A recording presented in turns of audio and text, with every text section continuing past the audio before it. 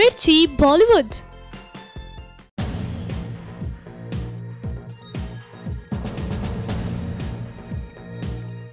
Big boss के ग्यारहवें season के बाद अब हर किसी को सलमान खान के अगले शो 10 का दम थ्री का बेसब्री से इंतज़ार है।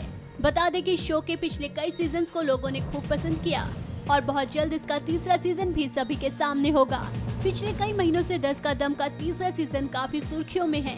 वहीं अब ऐसी खबर सामने आ रही है कि आप शायद इस पर यकीन न कर पाए। मीडिया में आ रही खबरों की माने तो सलमान को इस शो के लिए काफ़ी बड़ा अमाउंट मिलने वाला है।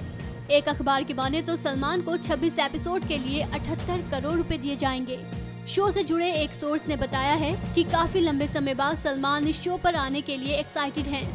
फ़ीस को लेकर सलमान और चैनल के बीच पिछले साल ही बात हो चुकी थी। और दोनों आखिरी फैसले से खुश हैं। बता दें कि बिग बॉस के टाइम भी ऐसी खबरें आई थी कि सलमान को पर एपिसोड के लिए 11 करोड़ रुपए मिले हैं। वहीं अब दस का दम के लिए भी भाईजान को काफ़ी मोटी रकम दी जा रही है। आपको हमारी ये स्टोरी कैसी लगी, हमें कमेंट करके ज़रूर बताएँ।